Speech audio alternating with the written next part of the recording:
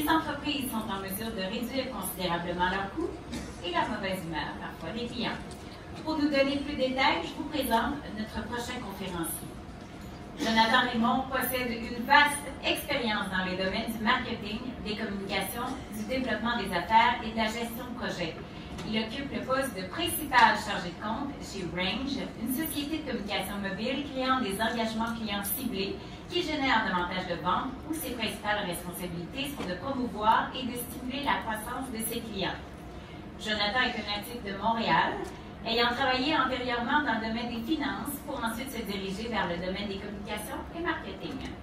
Aujourd'hui, il aide Range à développer et mettre en place des stratégies de communication efficaces pour les entreprises œuvrant dans le commerce de détail. Mesdames, Messieurs, Jonathan Raymond.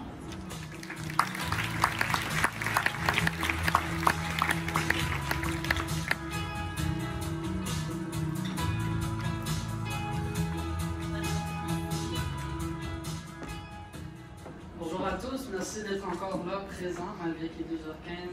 Je sais qu'on est probablement fatigué, euh, mais c'est toujours plus enrichissant qu'on a autant de gens qui viennent participer à cet événement. Alors, merci.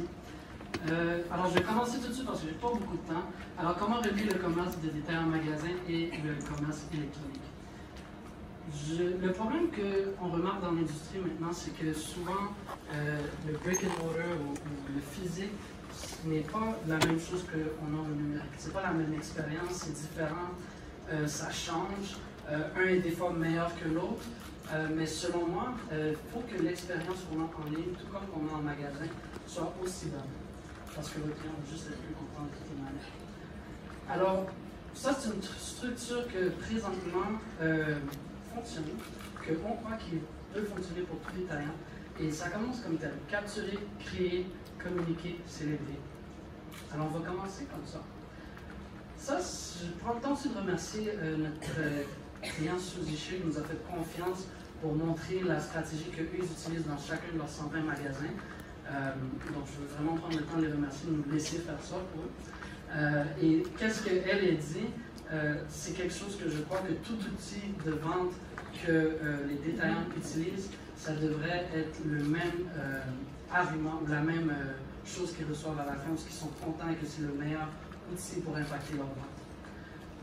Alors, on va commencer avec capturer, euh, très simplement. Alors, pourquoi capturer? Première chose de capturer, c'est que vous obtenez les informations de vos clients. Vous pouvez associer finalement euh, les clients qui rentrent à votre magasin à vos ventes. Vous pouvez créer des profils de préférence de vos clients, créer un sentiment de loyauté. L'affaire qui est importante avec ça, on a vraiment capturé, c'est que je suis sûr que vous êtes tous allés déjà en magasin dans une boutique, puis vous avez la caissière qui vient, puis qui vous dit c'est quoi votre courriel? Puis ça finit là. L'aventure vient que, bon, ils donnent leur courriel. Souvent, c'est même pas le bon courriel. Euh, puis souvent, euh, quand on a fini de donner un courriel, on n'est même pas content parce qu'on est tanné de recevoir plein de courriels de plein de détaillants et que l'aventure ne va pas juste pas plus loin que ça.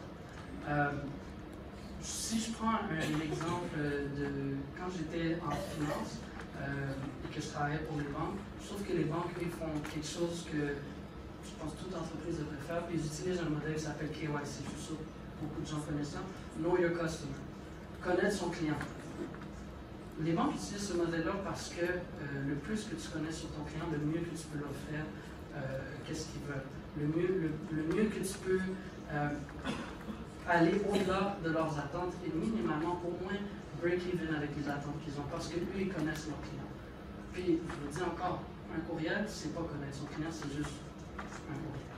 Ça s'en tient à ça. Comment on peut capturer? Donc, il y a plusieurs canaux de capture. Bon, signalisation, ça, c'est qu'est-ce qu'on met en magasin, des belles affiches, Wi-Fi. Euh, de quand on rentre dans les, dans les centres d'achat, ils disent toujours qu'on peut utiliser leur Wi-Fi si on fournit des informations honnêtement, je pense que pour le Wi-Fi, le fait que les télécoms euh, donnent euh, maintenant de plus en plus des forfaits illimités, bientôt le Wi-Fi sera probablement même plus une option viable pour capturer le numérique, Facebook, Google, tous des moyens qu'ils utilisent aussi. puis les publicités traditionnelles, que ce soit dans les journaux, que ce soit même à la télé ou par la poste, c'est un moyen d'utiliser ces canaux traditionnels-là pour même capturer en intégrant du numérique dedans. Euh, tout ça, c'est très possible. Ça, c'est juste des exemples de comment euh, certains clients utilisent euh, cette technologie pour capturer, principalement par le mobile, évidemment. Euh, puis honnêtement, c'est très simple. Si vous voyez ici, c'est un incitatif clair. Il faut donner un incitatif clair pour, pour, capturer les informations de ses clients. il faut aussi que l'information qu'on recueille soit simple, que le client ne se doute pas un petit peu de qu'est-ce que vous voulez avoir d'eux, mais que ça soit très clair et que au minimum qu'on puisse démontrer le pourquoi qu'on veut avoir cette information. Alors ici encore, message clair, incitatif clair, on simplifie les informations, on valide les informations. Encore une fois, le client peut te donner un faux courriel, puis on a perdu notre temps à, demander le courriel de la personne. Euh, rapidité d'exécution, si tu es en ligne et la personne est en train de t'épeler son nom de 26 lettres, il y a un problème, ça ne va pas fonctionner. Euh, puis euh, conformité au processus, bon, comme on a des lois quand même canadiennes anti-pourrielles, il faut faire attention que n'importe quelle façon on capture les informations du client, que ça soit conforme aussi à la loi, pour pas qu'on ait à payer ces pénalités-là qui deviennent très chères au fur et à mesure. On s'entend. La prochaine chose qu'on va passer, c'est créer. Créer, dans le fond, c'est ton message. Comment vas-tu montrer ton offre à ton client? Comment vas-tu délivrer l'offre que tu as à ton client ou l'information que tu as à ton client? Est-ce que c'est compliqué? Est-ce que c'est juste plein d'images que tu t'attends à ce que ton client comprenne? Euh, est-ce que tu dois aller loin pour, pour, donner ces informations-là? C'est toutes des choses qui sont quand même importantes. Alors, la façon que je dirais qui est bon de créer, c'est comme ça. Personnaliser, segmenter. Alors, je vais juste m'en tenir à ça pour le moment. Personnaliser, segmenter va beaucoup avec capture. Le fait qu'on a eu toutes les informations qu'on a besoin de notre client, ça nous permet par la suite de bien personnaliser notre offre par rapport aux informations que le client a données. Ça nous permet de segmenter notre offre. Est-ce que c'est un gars? Est-ce que c'est une fille? Euh, l'offre est différente. Est-ce qu'il y a 45 ans? Est-ce qu'il y a 20 ans? On ne donne pas la même chose? Tout ça va faire une grande différence. Lien intelligent parce qu'on veut suivre ce que notre client fait, on veut suivre le parcours. Encore une fois, on n'en tient pas juste à donner un courriel. Et conformité. Comme d'habitude, on veut aussi dans les normes de la loi. Le meilleur exemple que je peux vous donner de ça, c'est dans mon expérience quand je, quand je pour des compagnies automobiles, faisant un petit peu la même chose. Moi, je suis un gars, euh, j'aime les SUV. S'il vous plaît, envoyez-moi pas une promotion pour une Yaris. C'est pas ça que je veux. Je veux une promotion pour un SUV, mais comment tu aurais pu le savoir si je te l'ai pas dit? Si je t'ai pas fourni cette information-là, si cette information-là n'est pas stockée quelque part, pour que, je puisse, pour que je puisse te faire comprendre que moi je veux un SUV, alors envoie-moi des promotions pour un SUV, je ne veux rien savoir de Yaris, c'est trop petit. Meilleur, meilleur exemple que je peux vous donner par rapport à ça. Une fois qu'on a euh, créé, ça c'est un exemple, de créer ça par message texte, c'est toujours plus rapide et beaucoup plus simple de créer un message, comme par exemple ici, une planète là-bas, on est très précis, il y a un call to action, il y a un lien pour suivre le client, puis cette promotion-là est disponible en magasin et en ligne.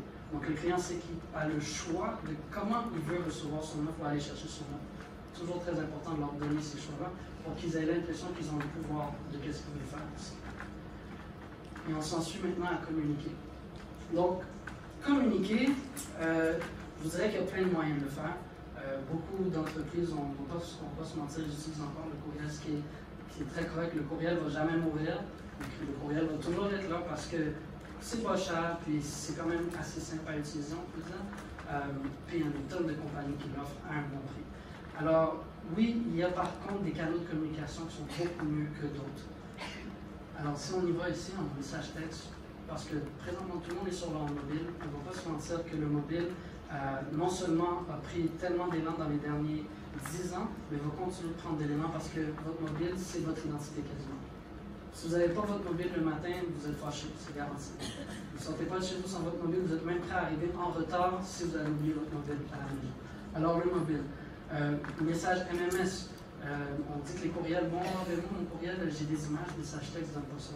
Après, message texte, on peut avoir des images. C'est possible, puis on peut donner encore une meilleure expérience juste parce que l'image est très précise et direct to the point. Euh, Facebook Messenger, parce que tout le monde est sur Facebook, je veux dire, quand tu as 2 milliards de personnes sur la plateforme, c'est sûr, tu vas trouver des clients là, garantis. Euh, puis des technologies qui s'en viennent de plus en plus, Google Wallet, Apple Wallet, tout ce que vous, pouvez mettre des, cartes de fidélité là-dedans, euh, vous pouvez même mettre des offres à un certain point. Euh, c'est vraiment juste une question d'aller chercher les informations pour cette technologie qui devient de plus en plus émergente. Et finalement, courriel, parce que, encore une fois, never die, ça va toujours être là, on n'a pas le choix d'accepter cette réalité-là. Alors, le but ici, c'est juste de choisir le bon canal de communication pour votre clientèle. Puis je vous dirais que la meilleure façon, encore une fois, de le faire, c'est de donner le choix à votre client, que lui, il vous dise vraiment, je préfère mieux être contacté par courriel. Je préfère être contacté par, par message texte ou autre. Parce que où ce qu'il vous dit qu'il préfère être contacté, souvent, c'est parce que c'est là qu'ils peuvent être rejoints. Allez pas les chercher quelque part où ils ne le sont pas, à la fin de toute chose. Et finalement, le dernier cadeau, c'est célébrer. Célébrer, quand je parle de célébrer, les gens trouvent, toujours ça bizarre. Mais comment, célébrer? C'est quoi ça, célébrer? Célébrer, c'est vraiment célébrer les résultats. Célébrer les résultats que vous avez eus pour votre entreprise et les célébrer avec vos clients. Tout client qui achète dans votre entreprise aime ça, se faire dire Je suis content que vous avez acheté dans mon entreprise. Ils aiment ça. Ils veulent pouvoir voir les résultats de votre entreprise, ils veulent pouvoir voir, la, voir grossir. Et des fois, célébrer, c'est juste tout simplement communiquer votre croissance. Parce que le plus gros que votre compagnie croit, le plus que votre, client va porter attention à ce que vous faites, il va continuer de revenir. Je veux je prends un exemple banal, mais que tout le monde sait, Amazon a commencé de rien.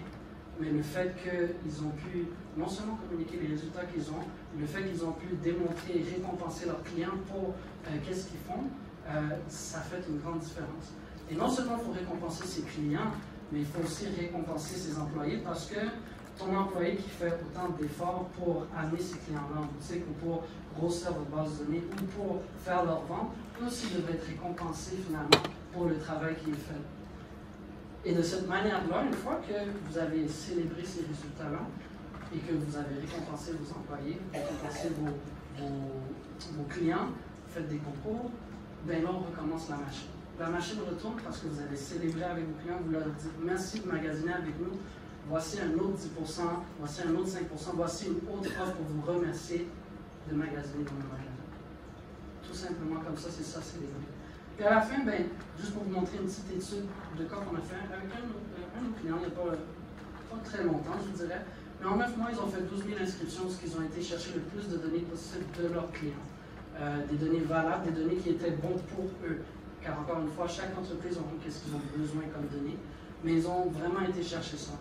Par la suite, euh, une fois qu'ils ont fait une campagne euh, mobile personnalisée, segmentée, euh, où ils ont pu séparer les offres par rapport à leurs clients et vraiment aller chercher le plus, le plus d'informations et de vraiment propulser ça à travers cette segmentation-là et cette personnalisation-là, ben, ils ont eu des résultats comme ça. Des résultats qu'ils n'avaient jamais eu avant. Parce que, à la fin, non seulement ils ont pu augmenter leur vente en magasin, mais ils ont aussi pu augmenter leur vente en ligne. Pourquoi? Parce que le client, finalement, a le choix. Il a le choix s'il veut magasiner en ligne, il a le choix s'il veut magasiner, en boutique, mais tant qu'il aura toujours ce choix-là et que vous pourrez toujours les diriger dans le bon chemin par rapport aux informations que vous avez recueillies pour eux, ils vont toujours revenir et ils vont toujours être fidèles. Et donc, c'est comme ça que eux, ils ont réussi. Et c'est pas mal ma présentation pour aujourd'hui. Je vous remercie tous d'être euh, venus et d'être encore là. Bonjour.